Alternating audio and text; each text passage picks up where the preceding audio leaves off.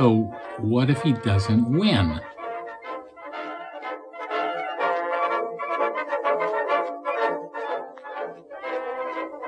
That's not my question, of course. the world is talking about it all the time. And they're focusing on this big election that's going to occur uh, shortly here in the United States. But I want to talk about something entirely different. There is a political battle going on in the United States that affects the whole world because America, in many ways, is the world leader, the leader of the free world.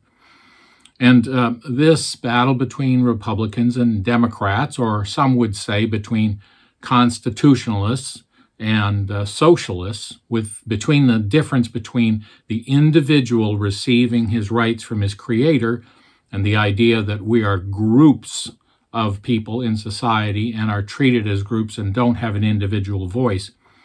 This political battle is, is raging. But layered over that there is another struggle that is going on. There is a, a nationalist, internationalist struggle. Um, the idea of nation states uh, versus a world government. And all of these internationalist corporations and international organizations that are seeking to control the nations um, and people are wrestling over these issues as well. It's interesting when we come to the end of time, when a millennial kingdom is uh, instituted, the Lord Jesus rules over the nations. He is called King of Kings and Lord of Lords. And the kings of the earth bring their glory to Jerusalem. And so God established nations he set the bounds of the nations, and he intends to have national identities in a world to come. Although they all recognize the supremacy and sovereignty of the Lord, yet uh, it seems there clearly are distinct nations. The Gentiles means the nations, and God will rule in that way. So, over the national issues and the political battle, there is an international struggle. And this whole issue of uh, who controls the destiny of nations. Is it something we hand over to the United Nations or other organizations? Or do we want uh, to be sovereign nations uh, accountable to our own elected officials? And of course, the whole Brexit move and in other countries, the struggles that go on between the distinction of an individual receiving their rights from God. And in America, of course, the idea was to limit government uh, so that it didn't interfere in the personal freedoms of the individual. A very different thing to the socialist notion. And the idea, idea there is if an individual lives for 70 years and a society lives for a thousand years, then obviously the society is more significant than the individual. But, says the Bible, an individual will live forever. And if we're going to live forever, then God considers the individual uh, a, a personal sovereign agent, someone who is accountable directly to God, and that the government is not God. And these are very distinct. But uh, in addition to that, uh, there is a culture war. And the culture war is not specifically a political thing. It's not lined up by party so much, but the issues of abortion and gay rights and euthanasia and the legalizing of drugs and so on, these are real battles that people give themselves to with high energy, seeking to wrestle the culture into their corner.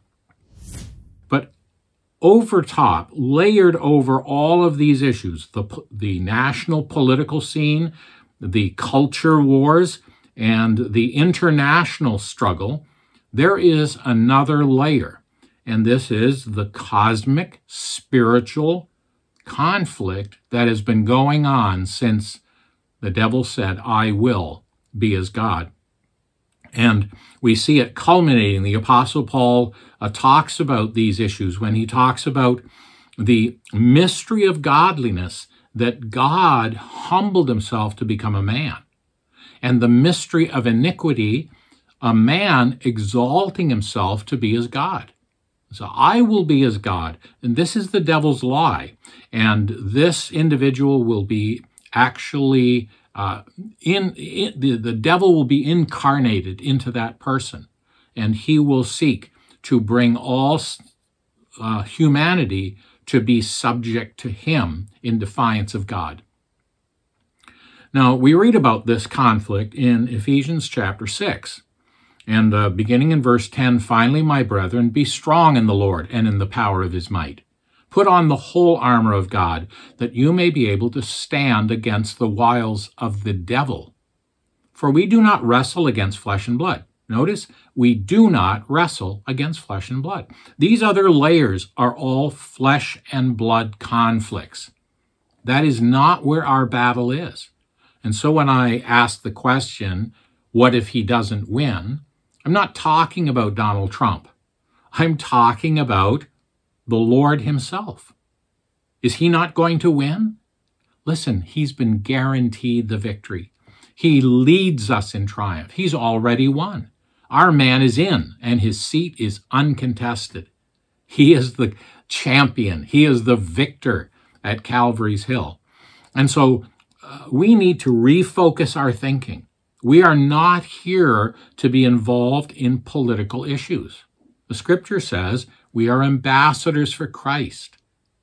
We represent a foreign government. We are living in enemy territory, and we are seeking to woo men and women away from other uh, temporary and superficial battles, and we're inviting them to join with us on the victory side to come over to Christ and to recognize his supreme authority so that it's not party platforms, it's not even social issues.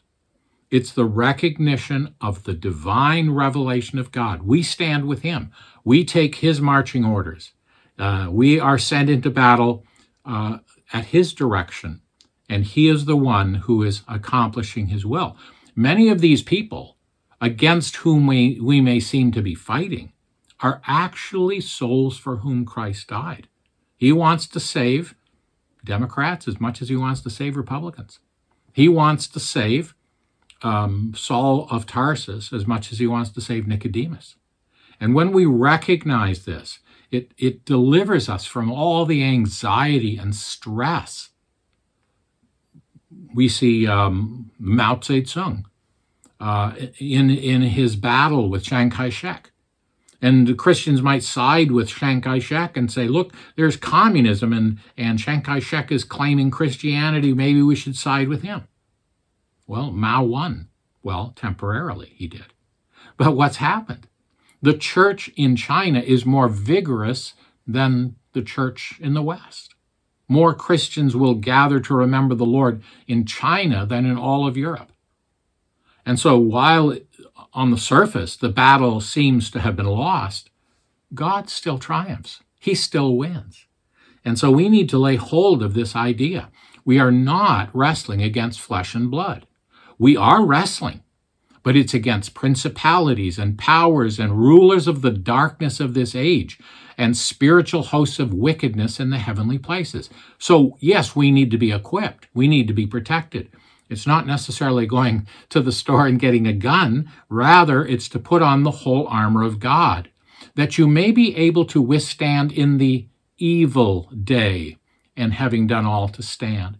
God is looking for people who will stand with Jesus in this. And when there are cultural issues discussed, many of these are moral issues. They are biblical issues, and we stand with God on those subjects. Yes, we are pro-life. Yes, we are uh, those who recognize marriage as between a man and a woman because God does, and we stand with God. But to become involved in the political battle and the culture war, we can be distracted from the real battle. This battle that has nothing to do with flesh and blood. It has to do with spiritual wickedness. And so he says, you need your feet shod with the preparation of the gospel of peace. In this society of turmoil, of dis, distress of nations. We need to be able to look into the eye of a young man who's involved in perhaps uh, uh, damaging behavior um, someone who's involved in in uh, abortion business, whatever it might be. We need to be able to look them in the eye and tell them that they are controlled by the God of this world, by the enemy of their souls. These uh, big tech giants that have spoken recently before Congress, they think they are sitting at the chessboard and that they're moving the pieces on the board and that you're a pawn that they're using to their advantage. And they don't realize that standing behind them is the prince of darkness, and he's manipulating them to accomplish his purposes. They're pawns in the game. But then standing behind him is the King of glory. And he himself is allowing Satan to do certain things that in the end will bring the checkmate, will bring everyone to the feet of the King of Kings and Lord of Lords. And so we side with him. We see beyond the superficial. We see beyond the temporary battles. And we recognize there is a sovereign will of God being worked out. And if we're going to be in the battle, we've got to have our feet shod with the preparation of the gospel and ready to take that message to the world. We have to have in our hand the sword of the Spirit, the Word of God, and proclaim the truth of God. We need to have the helmet of salvation. In other words, our minds need to be protected from all the propaganda and all the distressing information. We need to lay hold of this idea that God has saved us, He is saving us, and He will save us. We know the end of the story. We know how it comes to its conclusion. And so we are protected in our minds from all of these cross currents that could cause us great distress.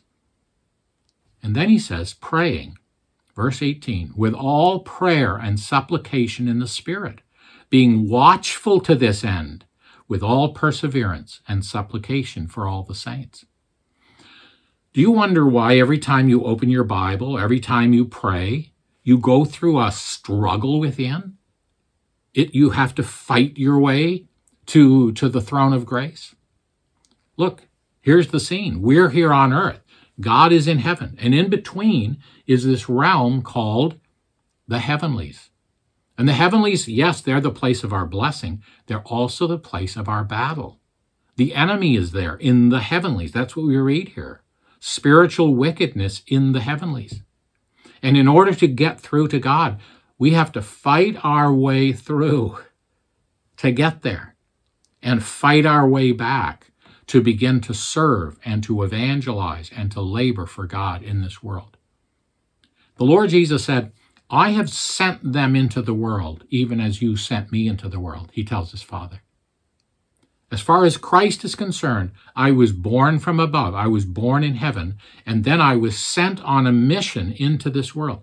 That mission is not to win a political battle. It's not to win, even win the culture wars. Certainly not to be involved in this international struggle. I'm here in this cosmic spiritual battle. I represent the God of heaven. I stand up for Jesus. So some of us would prefer if Donald Trump won. Maybe others prefer someone else. But never forget, our man is in. Christ rules supreme. The Lord reigns. Put that over your TV when you're watching the, the news regarding the election. The Lord reigns. God is on the throne. And Christ is triumphing. And he doesn't want us to be distracted by side issues, by side skirmishes. He wants us to confront the enemy head on with the spiritual weapons of prayer, not clever arguments, not uh, political wranglings, not debates, but with the gospel, with the word of God, with prayer, with our minds protected by the salvation that he alone provides. And may God help us. Whoever wins, as far as this world is concerned, that we're going to win because of Christ. He always leads us in triumph through our Lord Jesus Christ.